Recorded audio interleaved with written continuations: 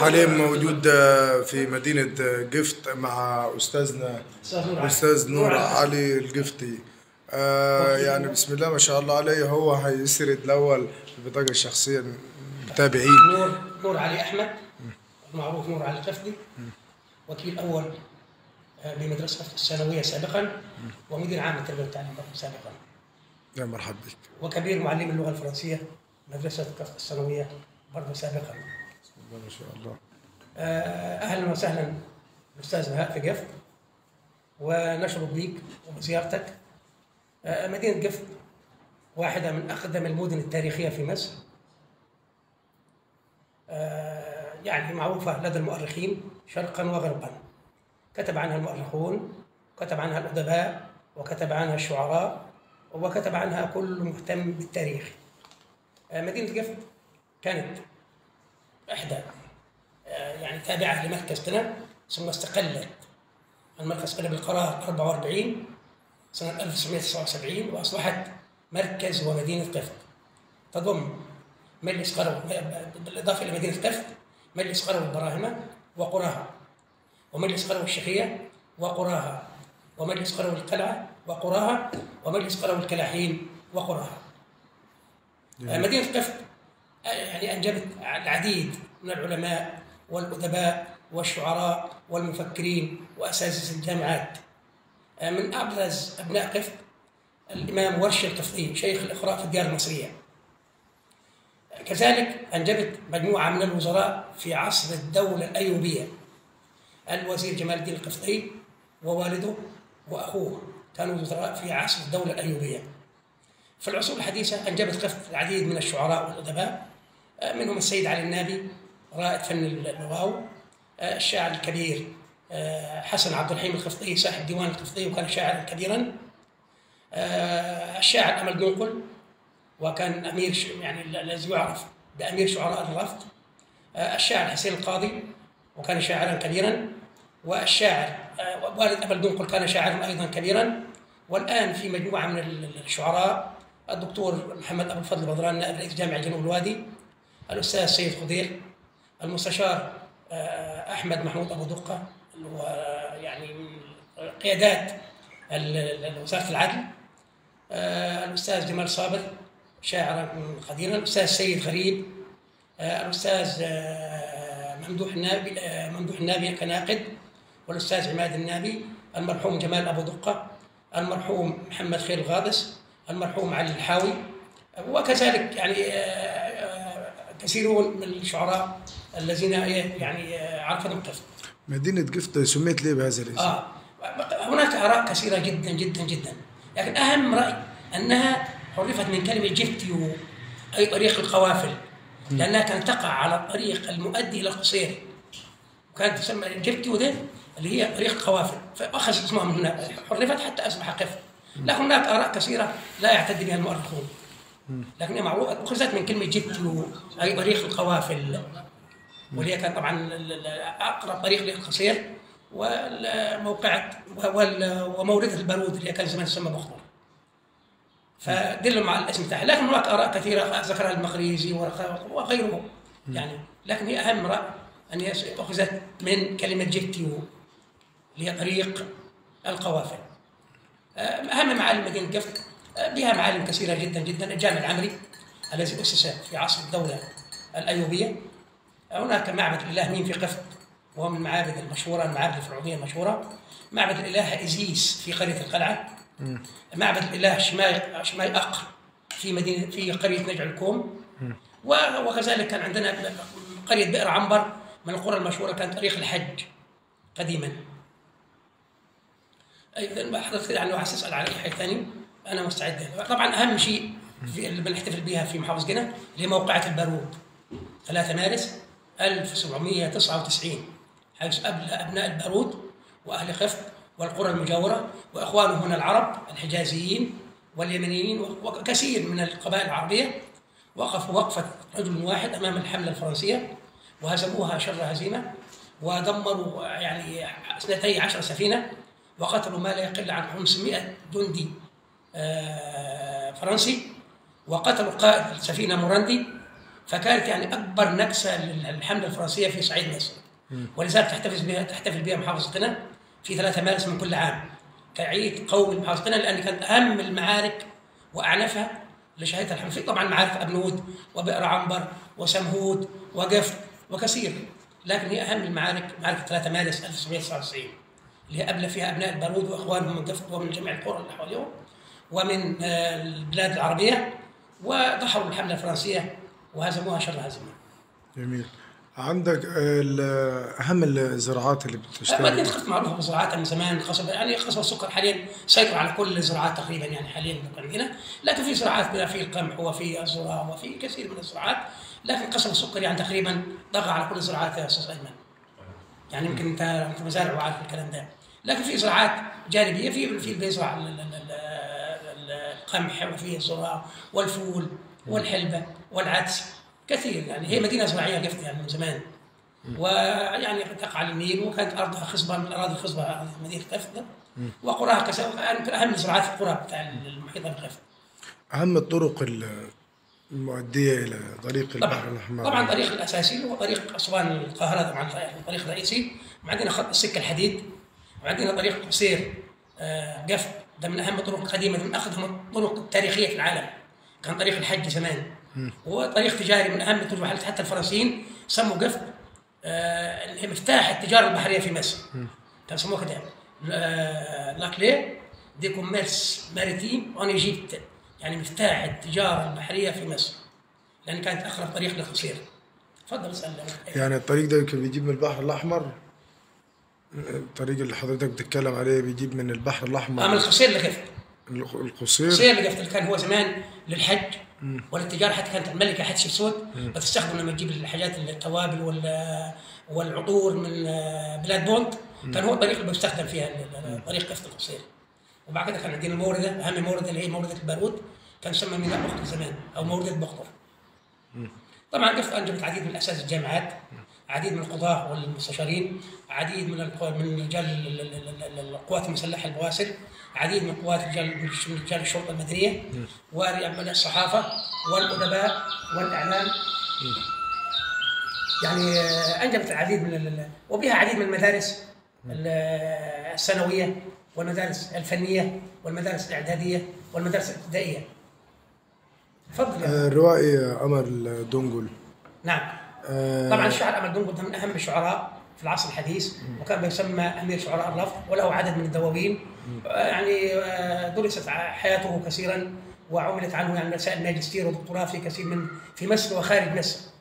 وبعد معروف يعني أمير شعراء الرفض يعني امل دنقل آه، أهم أهم شعراء في أنت أنت من من أهم القصائد اللي بتهتز بيها أنت؟ طبعا آه، لا تصالح لا تصالح طبعا وهديها لك في موضوع قصيده لا تصالح دي ما لهاش حل. وعليكم السلام ورحمة صاحب الله ناصر. مرحبا عليكم السلام ورحمة الله وبركاته. الله يسلمك عم بيسعدك مرحبا اسمك كريم.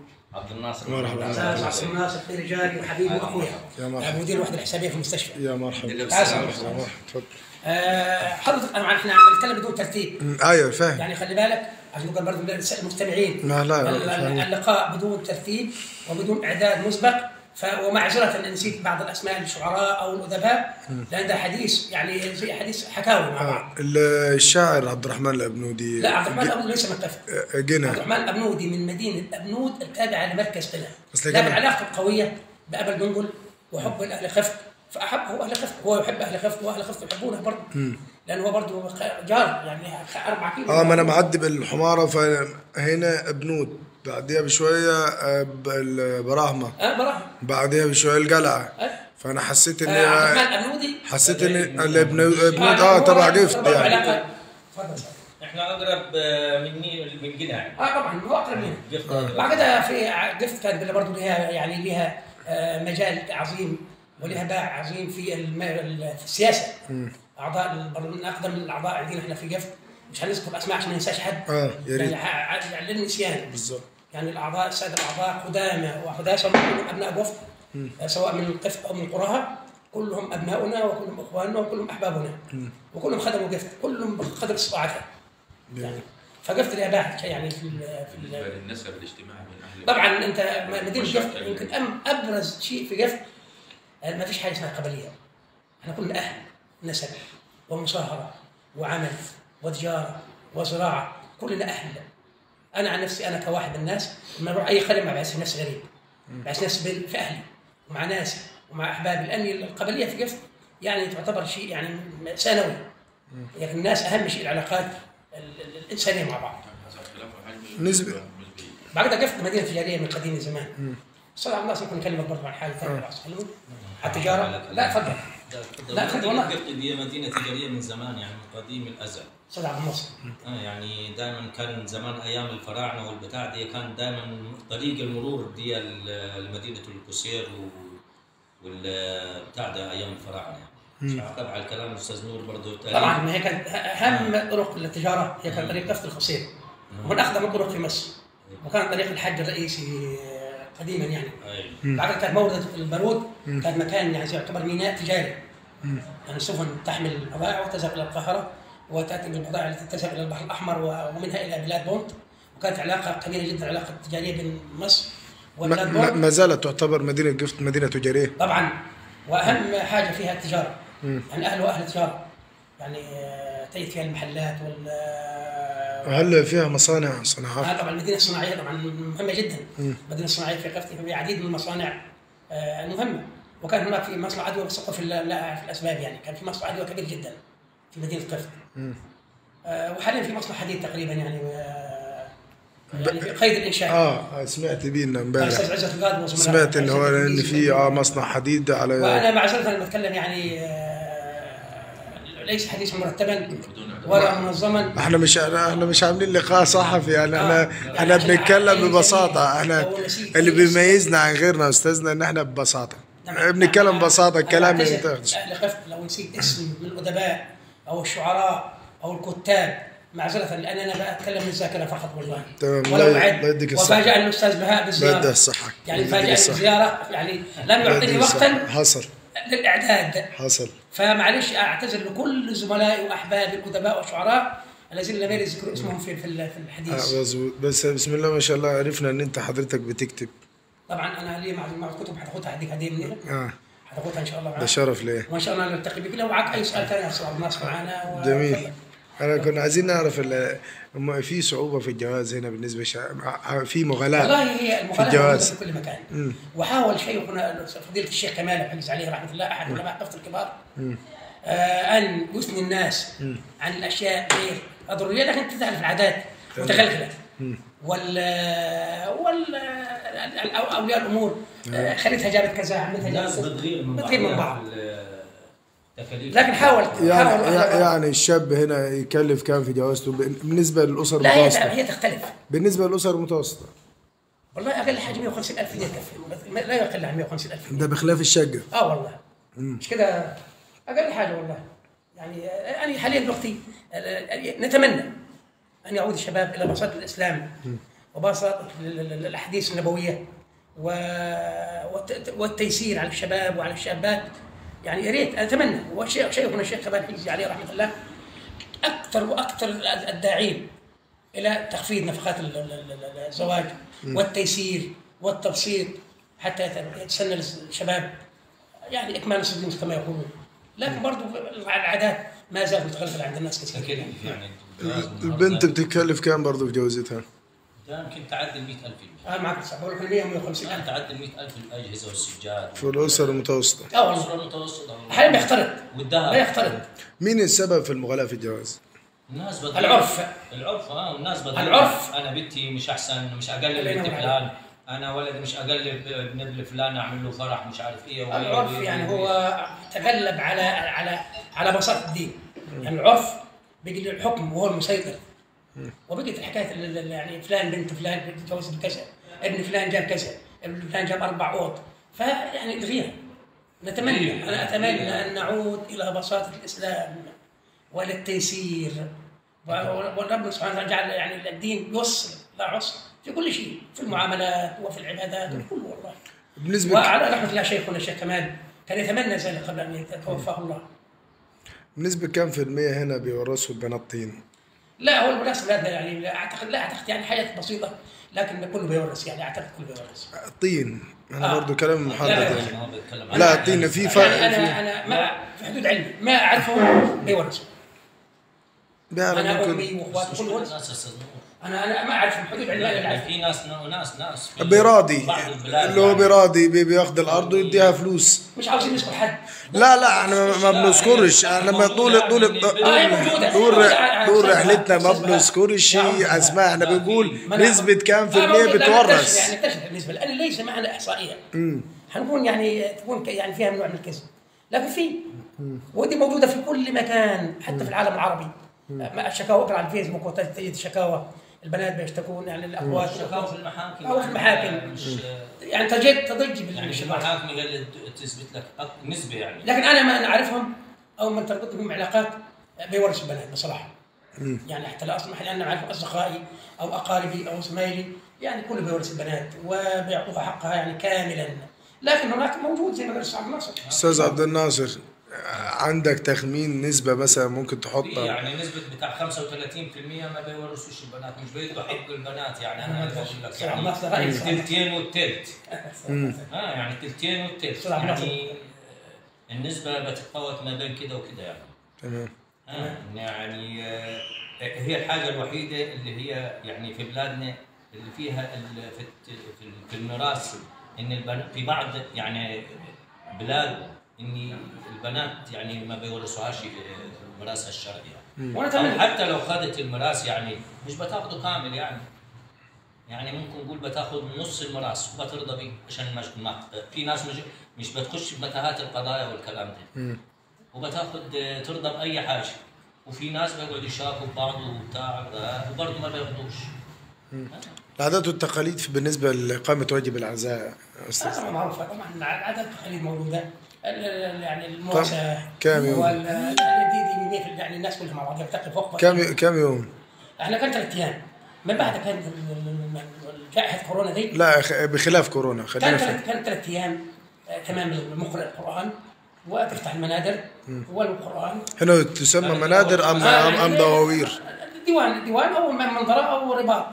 في ناس يسميها رباط أهل جبل رباط أهل الشيخ رباط ما يسمى يعني رباط أو منظره أو ديوان يعني هي ما مسميات ما تمشي تختلف معنا وأغلبية العائلات عندها دواوين وأخبار موجودة بس مليانة والقرى وقراها. بس من يوم الكورونا يعني أعتقد يعني تمام. إقامة واجب العزاء بالنسبة للرجل والست ثلاث أيام؟ ثلاث أيام لا ثلاث أيام. ثلاث أيام. كان الأول خمسة وكان آه قبل كان سبعة. سبعة. آه سبعة. لا خلينا خلينا في في الحالي. خمسة. وبعد كده ثلاثة وبعد كده عندنا. صور. صور عندنا. دول نخليهم دلوقتي لحظه عندنا كلها. آه دلوقتي يعني بيجي العزاء على الناس عندنا كلها مش عن جميل آه، جميل. تفضل. جائحة كورونا يعني آه، قبل الجائحة دي خلوا في يعني في ناس بدت يعني من آه، العشاء العشاء على القبر. وخلوا العزاء على القبر آه. ففي ناس يقول لك الناس الغلابة واللي مش عايزين ينصبوا ومش عايز يجيب مقرئين و- ولا سوان ولا كلام زي ده خلى الع- العزاء على القبر. فبقيت يعني اللي مش عاوز ينصب لابوه ولا أمه العزاء على القبر. وبقيت عادة يعني عادية يعني. مبدأ- هذه مب- الفقير. مبدأ- يعني العزاء على القبر. لكن برضه ما زالوا بيجلسوا وينتظروا المعزيه. بيقعد للي ما جاش آه، ينتظروا المعزيه ياتوا يأتوا للتعزيه برضه يعني ما راحش ما روح يعني. ثلاث أيام. يجيهم ما روح ثلاث أيام. حضرتك مع إقامة واجب العزاء أو مع اختفاء هذه العادة؟ لا أنا أنا ضدها صراحة يعني ما كمان. عزاء على القبر. لا عزاء على القبر. أنا ليه؟ أول حاجة أحيانا بيتحمل نفقات ثلاث أيام والمقرئين والأكل. اليتامى. ابناء الأكل إيه بالظبط؟ بالظبط بتبقى في طعام لل- لل- للجماعه الغرباء للضيوف مين مين مين مين, الصواني دي مين اللي بيجيبها؟ يعني أهل الميت أهل المتوفى لا. وجيرانه لا، من جيرانه. لا نعرفه جيرانه لا جيرانه واهل الميت والله وفي في واحد ملهوش يعني آه. جمايل بيقدر يجيب آه، لحمة هو لحمة. على حسابه للناس اللي جاية من السويس من مصر من أي. حتة ويغديهم أيوه بتاجي في واحد مش بيجامل مثلا نعم فبيضطر يجيب اكل على حسابه ويطبخ تكاليف يا بس. هنا في قفط برضو كل يعني الع... من العادات بت... آه، طبعا في ان بيطلعوا صواني نعم. طعام جاهز نعم. لاهل الميت الفقير س... آه سيدات ورجال محسوبه عليه جميل لاني أنا اكتشفت ان بني سويف ما فيش الكلام لا، ده لا،. اني لا ده ت- توقع في حق عرب لو عملت كده لا لا. يعني لو حضرتك اخدت صينيه ودخلت بيها على المنظره وديتها للضيوف المعزين أو وديتها لاهل الميت آه، توقع في حق عرب لا لا لا عندنا إحنا يعني ممكن تودي واجب أنا واجب آه، توديه ل- لأهل الميت أما تودي طعام جاهز لا لا لا، من ضمن العادات ما أنا أقول لك من ضمن العادات اللي لقيتها عادة, عادة يعني عادة مختلفة يعني نعم. يعني هنا هل بتقوموا بتوزيع مثلا سجاير في في لا. المعازة؟ لا، لا، شيء- شفتها في المني لا دخلت عزيت في أحد المعازي فكانوا بيتحوا علي بسجاير. آه بتختلف. آه فأنا عشان كده بقول لحضرتك العادات والتقاليد. أنا بس تحية تحية. آه. الترحيب الترحيب بال- بالساده المعزولين يعني. في بعض البلاد بيقدموا قهوة. آه في قهوة في شيء طبعا. ينسون أي حاجة. آه طبعا. في في مياه ساقعه حضرتك مع رأي الأستاذنا أن مع اختفاء هذه العادة؟ صح. أنا ضدها من يعني زمان التكاليف صراحة يعني. العزاء على القبر. بيجبر انه يعني لازم ي- ينصب الوالديه وبتاع أنا عارف أستاذ يعني هي ال- ال- ال- الله يرحمه الحاج عبد النعيم مبروكه هو اللي بدأ بها آه، أول. على القلعه مم. اللي هو بدأ بحكاية العزاء على القبر دي فناس يعني انبسطت منها والشيخ. كمال. والشيخ كمال برضه طيب، والشيخ غالي. ودعوا ليها يعني الموضوع ده طب مش شايف إن إقامة واجب العزاء من العادات الجميلة اللي, اللي الوحيدة حاليا بتجمع ما. بين الناس. بعد ما. إيه؟ التكاليف. لا ده إحنا في الصعيد يعني نختلف عن باقي المحافظات في إيه؟ إن إحنا متوفر عندنا منظرة تمام. أو ديوان أو دوار. المقرئ المقرئ يحتاج. الم- المقرئ لو ما هي بص هي المشكلة بترجع لل- للشخص نفسه اللي هو عايز يتمنظر. أو يعني يتفشخر زي ما بنقول. أما أنا في الأول والآخر لا ي- إحنا عندنا متوفر المكان في الصعيد. متوفر المكان يعني لو في رجل فقير عنده حالة وفاء لو ما عندوش ديوان في دكك من البيوت بتطلع لا فيها. لا أنا أقول لك سيبك من أي منظرة. أنا بقول لك كل البيوت هتطلع له دكك يعمل آه، آه، 20 دكة قدام بيته يستقبل فيهم واجب العزاء. آه، في مقرئ بيبقى جوا القرية لا مؤاخذه يعني إحنا هنا في الصعيد ممكن ناكل بلقمة يعني. يعني لا في. في بس إحنا برضو إيه متعودين على مظاهر العزاء اللي هي نصبة فعشان كده إيه مختلفين مع العادة دي. أنا والله أنا أنا أما أنا بتكلم في إني شايف إن العادة دي الوحيدة اللي بتجمع الناس. يعني أنا زعلان أنا والأستاذ. مش دع- دعيتوش على فرحي. لأن أنا زعلان أنا وهو مش عايزه يجيني. بس لو لا قدر الله حصلت عندي حالة وفاة هيجيني هو.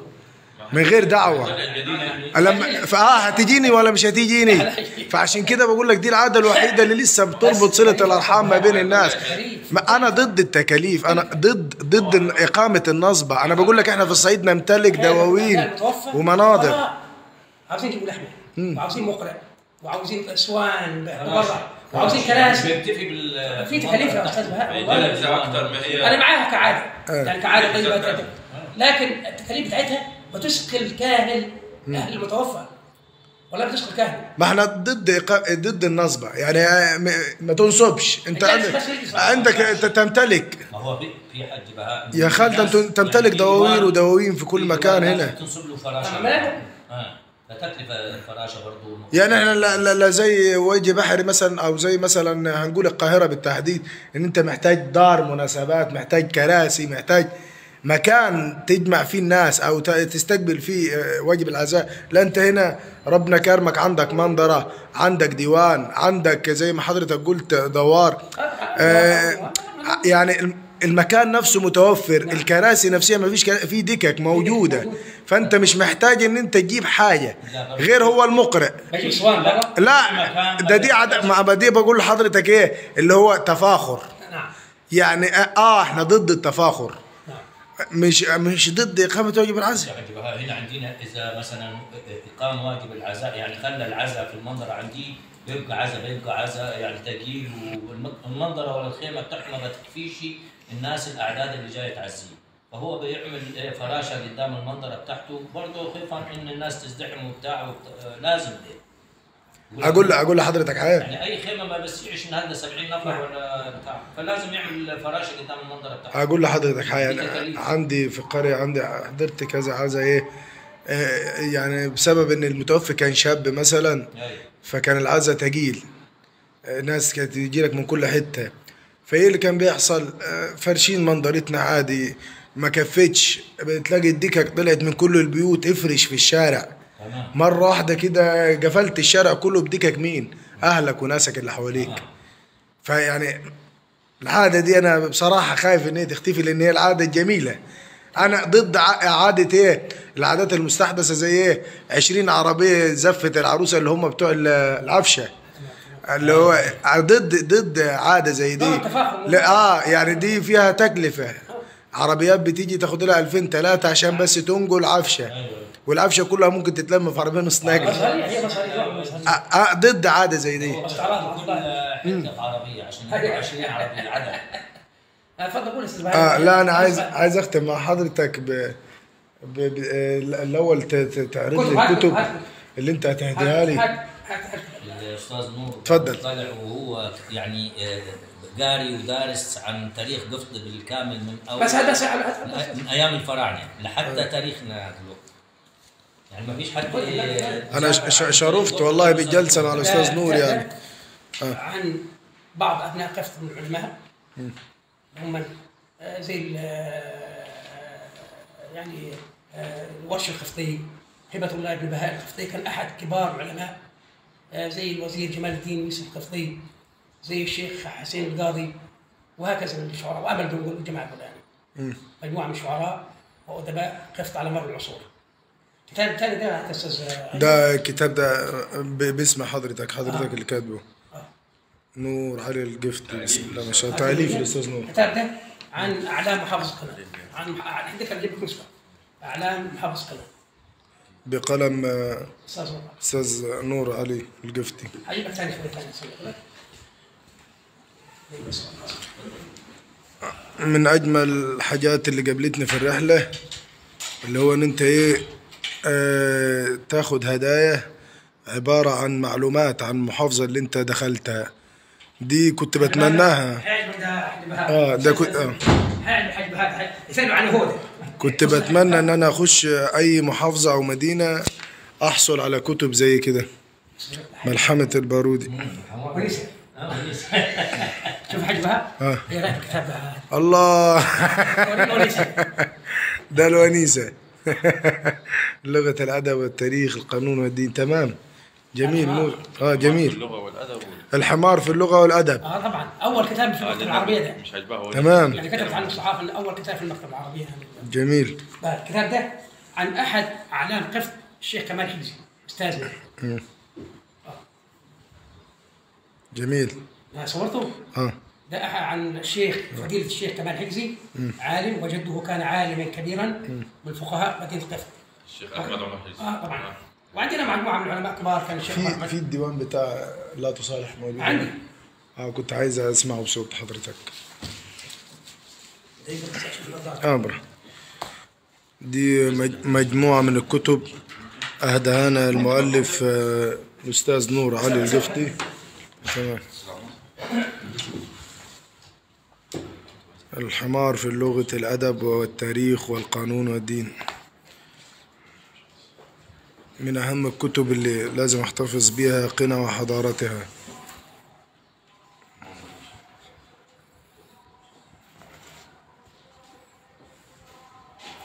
أبناء قفط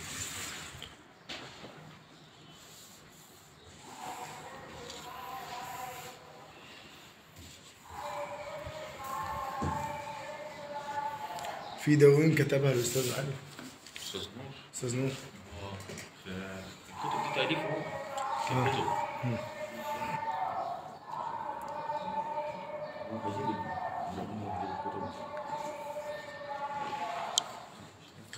من أجمل ال- اللقاءات اللي عملتها بأمانة هي اللقاء ده إن أنت تقعد مع حد مثقف آه، وأساتذة آه، يعني بسم الله ما شاء الله يعني عندهم معلومات بمحافظة آه، جنة أو بمدينة جفت كنت أتمنى إن أنا كل مكان أعدي عليه في أي مدينة في أي مركز في أي قرية إن أنا قابل حد يقدر يكلمني أو يعرفني عن المدينة اللي أنا فيها. تاريخ ال- عن تاريخها بتمنى من كل الناس أو أغلب الناس اللي هي عايزانا نزورها في القرى والنجوع أو المراكز اللي هنعدي عليها.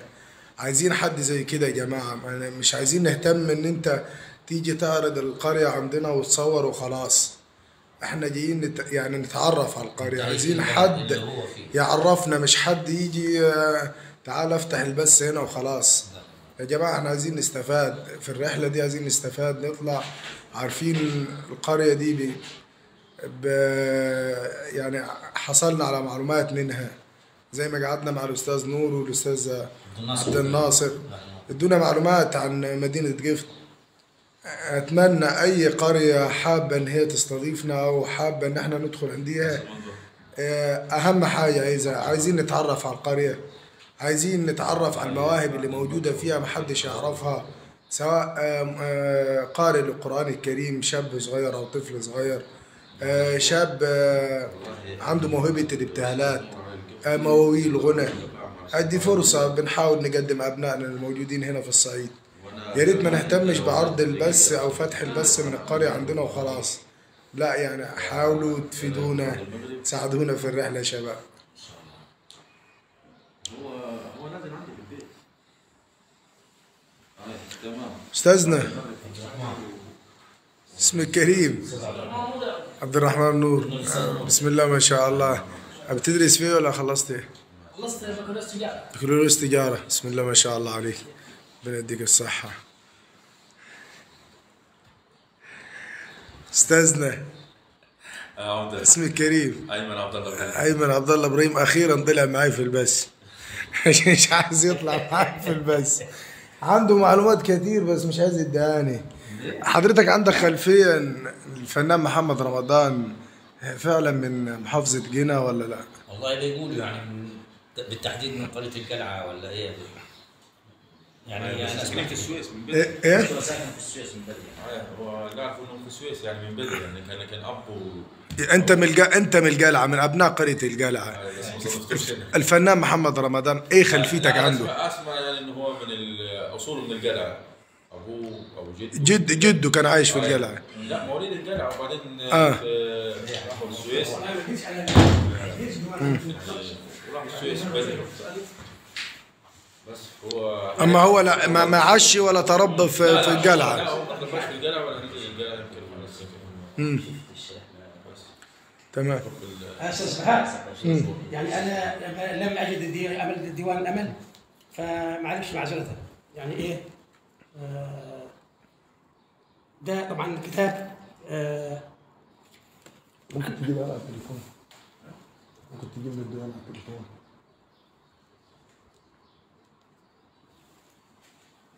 لا أنا عندي ديوان والله لم لم- لم اجد حضرتك كتبت دواوين قبل كده؟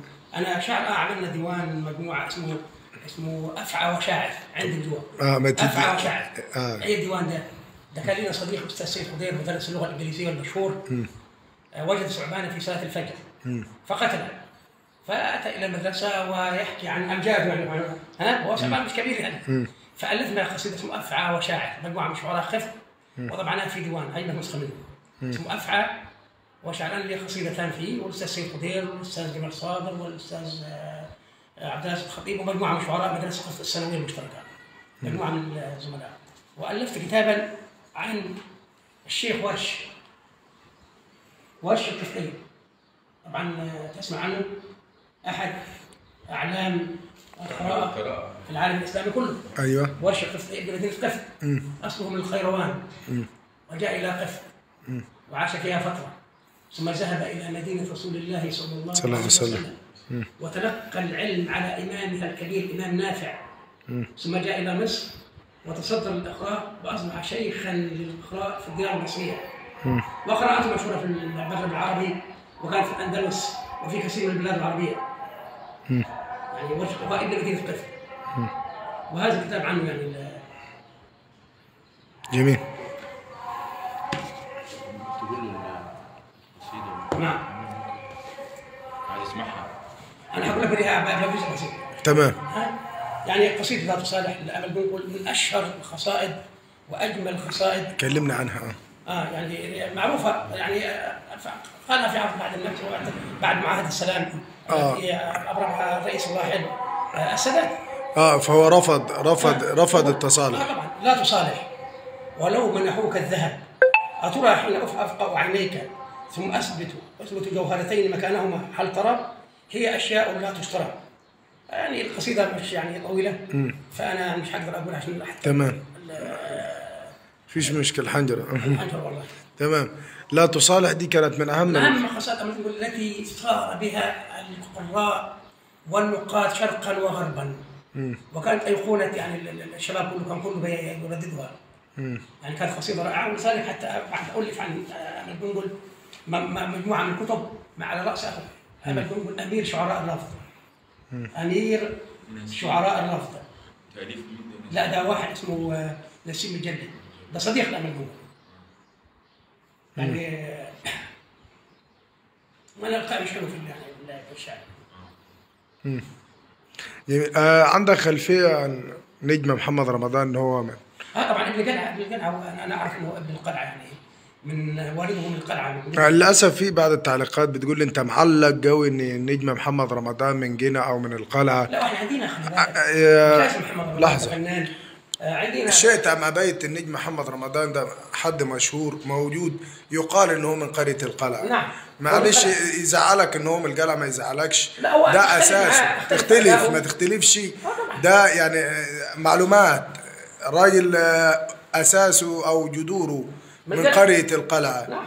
آه، الناس هنا ذكرت قالت فعلا جده كان عايش هنا في قرية القلعة كنا مختلفين مع اداؤه في السينما عادي آه، بالظبط مع أداؤه. أما ما تقدرش آه، تنكر وجوده. لا طبعا نجم مشهور. ولا. تنكر وجوده إن هو إن هو جدوده من القلعة. طبعا طبعا. ورجل إزاي انت وجوده هو من القلعة. أنت تختلف مع أداؤه بس. أنت تنقد أداؤه. يعني كإنسان أنا أحترم- إنسان ما إنسان من القلعة. تت- تت- تتشرف فيه ما تتشرفش دي حاجة ترجع لك بس. ما, ما, ما تقوليش ليه انت أنت ما تقولش إن هو من لا هو عندك من قرية القلعة. والقلعه انجبت ادباء وشعراء ورجال سياسه بس لا بس قرى قفط كلها كل قرى قفط مدينه قفط لها باع في السياسة. كل قرى مدينه قفط يعني كل مجلس قروي القلعة مجلس قروي الكلاحين مجلس قروي الشقيه والقرى بتاعتهم يعني. مجلس قروي إبراهيم كلهم لهم دور سياسي ودور ثقافي ودور أدبي ودور تجاري ودور زراعي. كل قرانا لها دور. مدينة قفط الحمد لله. كل قرى لها تاريخ. ما فيش قرية بدون تاريخ. كل قرى مدينه قفط لها تاريخ.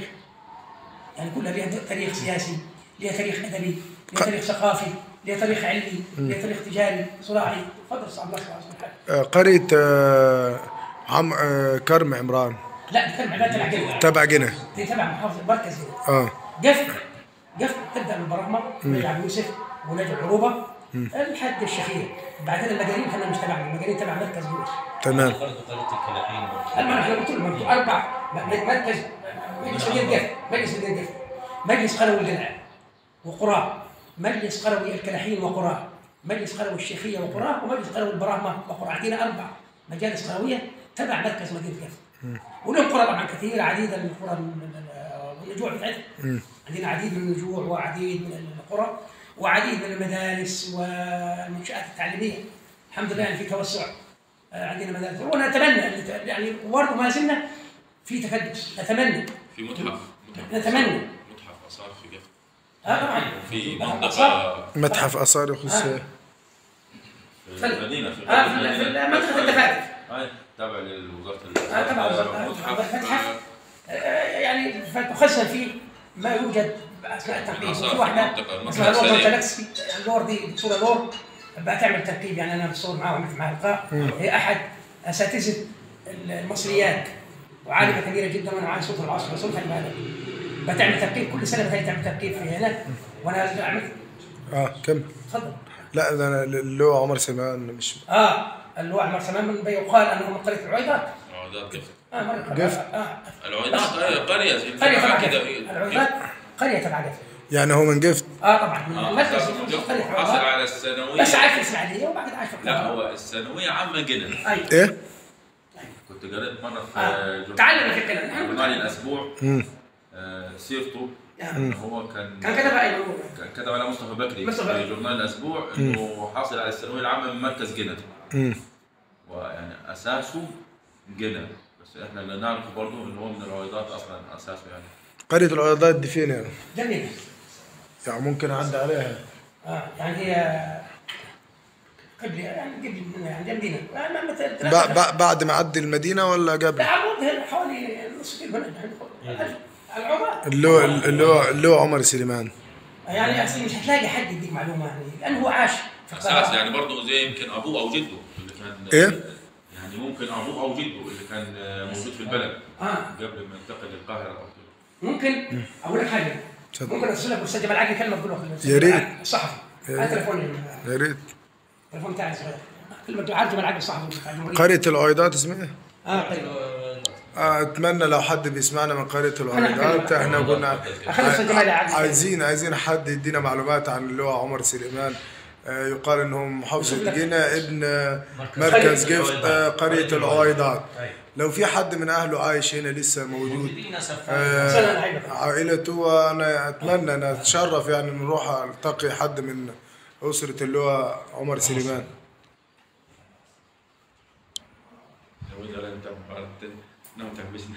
دي أنا جاي هنقول معلومات سياسية. إن نتعرف بس عن أهم المشاهير اللي كانت عايشة هنا. طبعا أكيد المخابرات عندك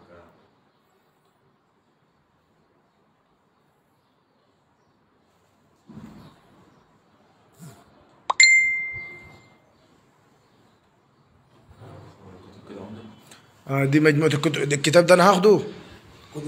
الله يبارك لك والله. دي مجموعة الكتب اللي اهداها لنا المؤلف والكاتب الأستاذ نور علي القفتي. مجموعة من الكتب النادرة يعني بسم الله ما شاء الله. مش عارف جمال مش عايز يرد ليه يعني كنت عشان جمال عقل هخليه يحكي يقول لحد يجي يقابله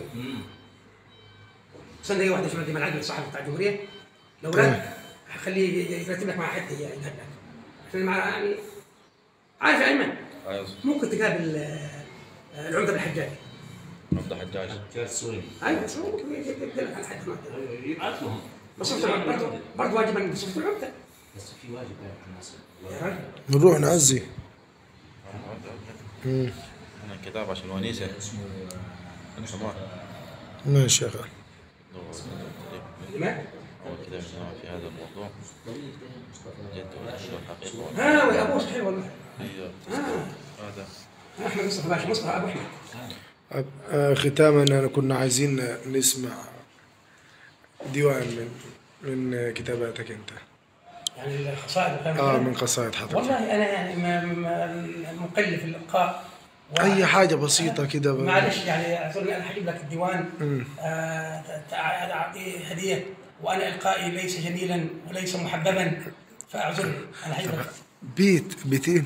يعني إحنا عايزين نختم بيه بس. آه بيتين شارع وساط يعني مش عايزين حاجة كتير. وأنا ناوي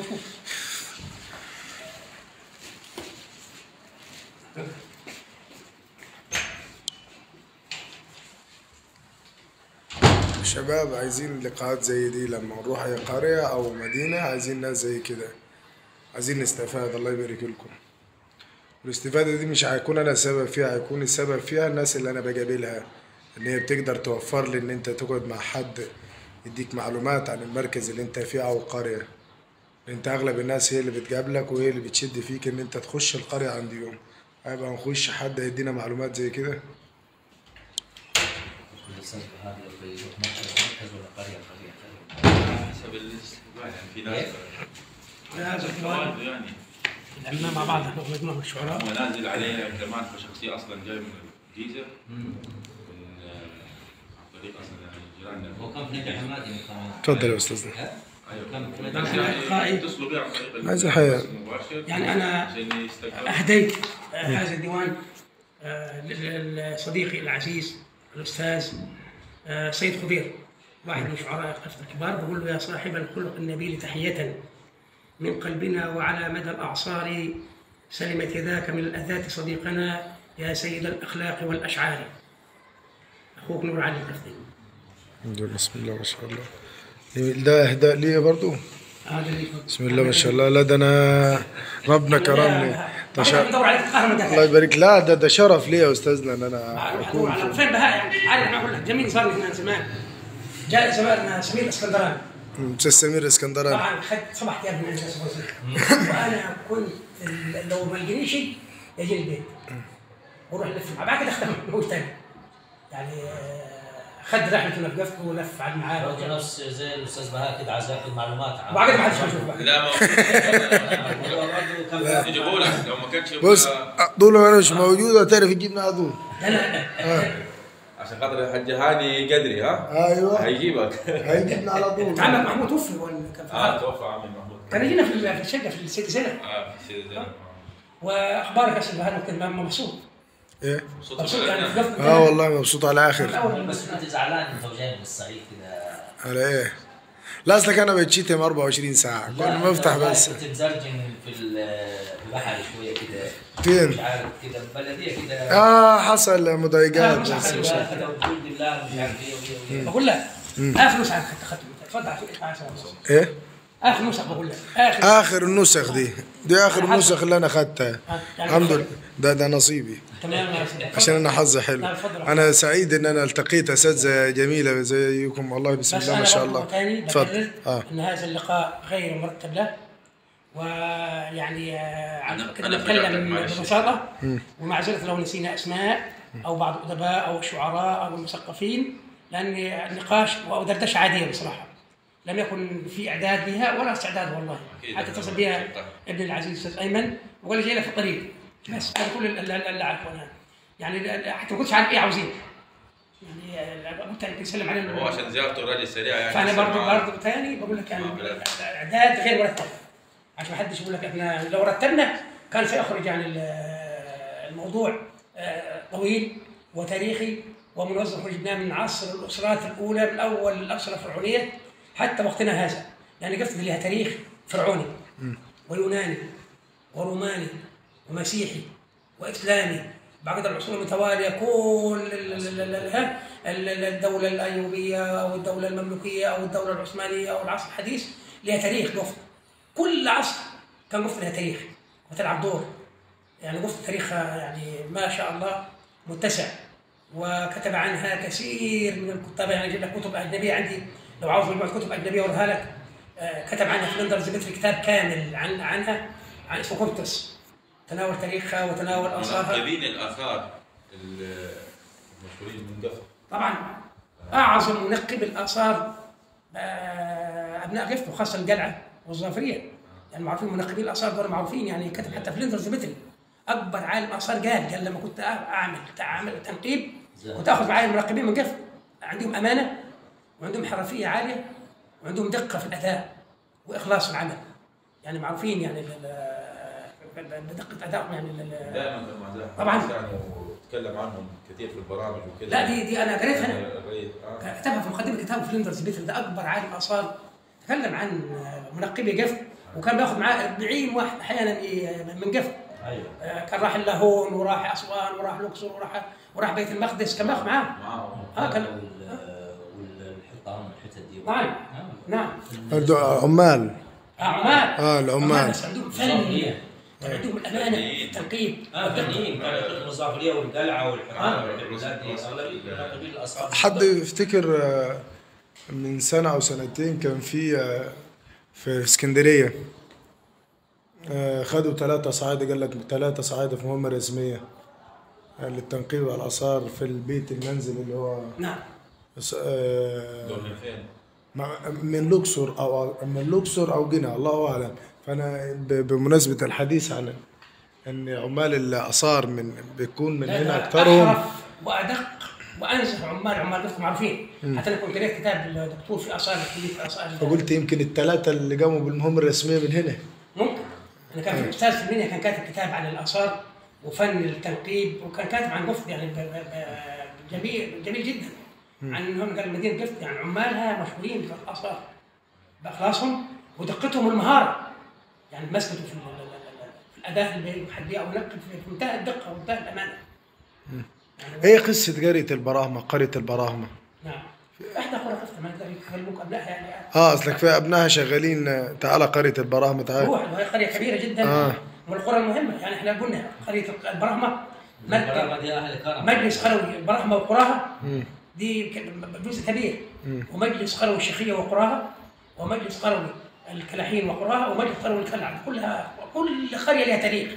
وكل قرية فيها علماء وأدباء وشعراء. وكل قرية فيها أثر سواء علمي أو تاريخي. يعني كل القلعة اللي فيها أثار. بئر عنبر هي أصلا أثار. نجع يكون المؤمنين الظافرية الكمان يعني كان في منطقة كلها اثريه منطقة العويضات من المعبد عندنا في الجنب معبد القفل آه، سعيد جدا باللقاء معاك يا أستاذ نور وأنا شرفت. آه، شرفت بالمعلومات بقول حديث غير مرتب. جميل. وغير منظم يعني إحنا بنحكي كده كأنك قاعدين على مصطفى قاعدين مع بعض. يعني مش إيه إعداد. شرفت باللقاء مع حضرتك ومعذرة لكل مستمع لم يرد اسمه من الأدباء لأن الحديث غير مرتب. شكرا ليك يا أستاذ عبد الناصر وشرفت باللقاء مع حضرتك. شرفتنا يبارك فيك. وأهلا بيك وقفت في بلد الكرم والضيافة بقراها والنجوحة كلها وأهل أهل كرم ومرحبا بك مرة ثانية وثالثة وفي أي وقت تأتي بارك الله فيك نورك والله شكرا يا أستاذ ايمن ان انت شرفتنا وقبلت ان إحنا يعني تظهر معانا الله يبارك لك الاستاذ ايمن ده اللي أنا موجود في ضيافته بقالي يومين لا لا